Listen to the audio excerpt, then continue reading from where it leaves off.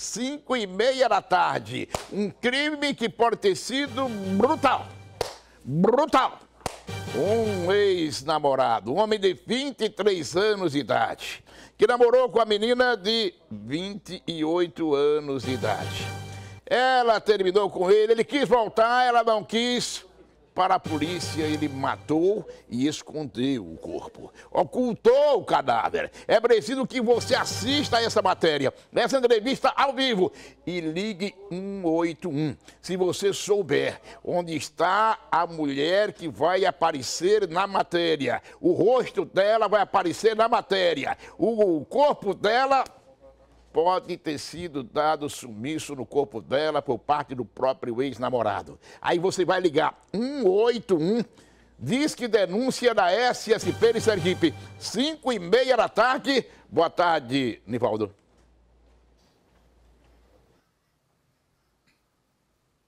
Boa tarde, Gilmar. É verdade, e continua repercutindo muito esse caso que ocorreu no município de São Cristóvão, Gilmar. Foi preso Josevaldo da Conceição Oliveira, de 23 anos, conhecido como Índio.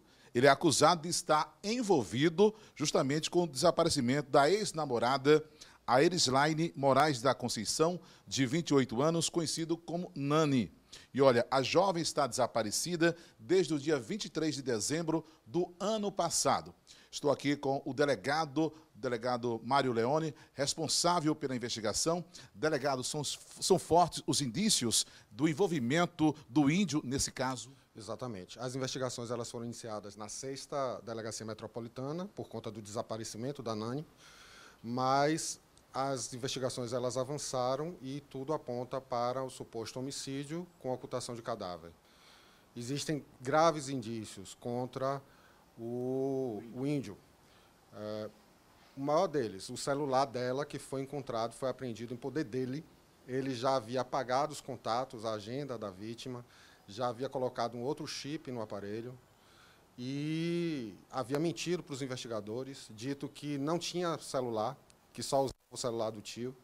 No momento que isso foi é, investigado junto ao tio, o tio, o próprio tio, mostrou é, informou que, na verdade, ele recentemente ele havia, teria dito que comprou na Feira das Trocas um outro, um outro um aparelho.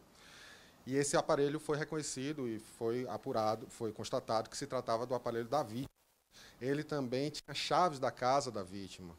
Né? Nem mesmo pessoas que se relacionaram com ela é, por mais tempo tinham as chaves dela. Ela morava sozinha com a filha de apenas 9 anos.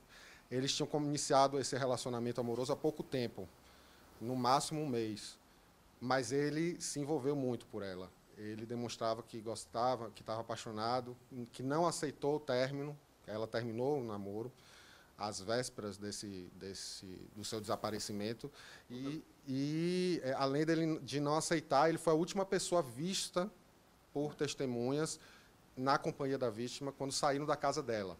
Delegado, existe também um áudio, inclusive, da conversa do índio, que é o Josevaldo da Silva Oliveira, é, dizendo que, olha, você quer me comprometer, você me disse que foi visto eu sujo de sangue e justamente próximo dia que a garota foi dada como desaparecida. Exatamente. Ele foi visto sujo de sangue e, e esse áudio foi destinado a um parente, um familiar, questionando o fato de isso ter sido comentado com terceiros né? o que só fez aumentar a suspeita dele estar envolvido nesse crime. Ele também é um ex-presidiário? Sim, ele já, quando adolescente, foi apreendido por porte em poder de arma de fogo, já na maioridade foi preso, estava na condicional há três meses, salvo engano, por roubo majorado pelo emprego de arma de fogo, então ele tinha acesso à arma de fogo e os seus antecedentes são, não são bons. Agora, delegado, a prisão dele é temporária. Com esses fortes indícios, a polícia pode pedir a prisão preventiva? Em breve nós estaremos representando pela prisão preventiva. Nós temos diversas diligências ainda para realizar, é, que envolve inclusive o trabalho de inteligência, parceria com a divisão de inteligência da Polícia Civil. É, mas por isso nós solicitamos inclusive o apoio de vocês, da imprensa e principalmente a colaboração da população, em especial da população de São Cristóvão. Quem tiver informações sobre o paradeiro da Nani, que possam nos, é, é, nos auxiliar, que possam ajudar a polícia, que, por favor, ligue para o 181. Né? A denúncia é anônima, é gratu... a ligação é gratuita e o anonimato é garantido, é preservado de quem se dispor a ajudar. Agora, a gente pede que as pessoas não não atrapalhem o trabalho da polícia com trotes, com informações inverídicas, não, que as pessoas colaborem. Quem, porventura, tiver alguma informação que possa nos ajudar a, chegar, a, a concluir né, é, essa investigação com êxito e o esclarecimento, inclusive para é, acabar com essa aflição que a família está passando até hoje. Além da investigação da polícia, já que tem esses fortes indícios, ele também já confirmou que foi pego, inclusive, com roupas sujas de sangue. Tudo leva a crer que ele matou a garota e pode também ter ocultado o cadáver? Sim, as investigações apontam para isso. As investigações apontam para isso e são diversas as contradições dele, as, as, as mentiras contadas por ele e desconstruídas com os depoimentos né, de diversas pessoas, te, testemunhas, inclusive os próprios familiares dele. Então, assim, ele realmente é, tem fortes indícios de estar envolvido nesses crimes que estão sendo apurados pela, pelo DHPP. Inclusive, a, os parentes da, da vítima é, dizem que a menina era uma menina pacata, tranquila, que não era de sumir, desaparecer por tantos dias. Com certeza, ela não tinha o costume de sumir sem, sem dar satisfação para a família. A família já, já percebeu que tinha algo errado já desde o primeiro dia. Então, é, é, isso tudo, à medida que o tempo vai passando, os indícios só aumentam, que apontam realmente para um homicídio, infelizmente, e a ocultação desse, do cadáver. É, e nós estamos trabalhando, é, é, intensificando esse trabalho para que a gente possa chegar a uma resposta conclusiva mesmo, contundente, o mais rápido possível. Porque homicídio sem o corpo fica complicado de confirmar o homicídio, não é isso? É, a materialidade delitiva, apesar de que assim, existem o exame de corpo de delito indireto, existem os testemunhos das pessoas, existe uma série de indícios, né?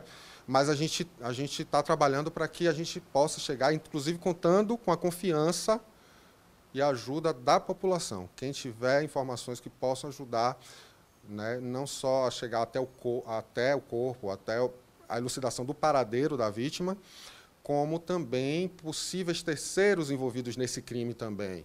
Tudo leva a crer também, a polícia acredita, trabalha nessa linha de investigação, que possa estar, além do índio, outras pessoas envolvidas nesse crime. Sim, sem dúvida. Pessoas que, no mínimo, tiveram uma participação no sentido de ajudá-lo a, a, a eliminar os vestígios, a buscar eliminar os vestígios do crime. Ok, delegado. Muito parabéns pelo trabalho. Obrigado. E aqui a gente mostra a realidade, narrando os fatos com a verdades, com imagens de Miro Ribeiro, apoio de Alain Maquilari, informou Nivaldo Cândido. É com você, Gilmar. Olha, se você sabe onde está o corpo dessa menina, 28 anos de idade, você ligue 181, não precisa se identificar, não precisa dizer de onde você está falando, 181. Ajude a polícia a fazer então a localização, a localizar o cadáver. Deus queira que ele seja viva, mas a própria polícia já limita o homicídio.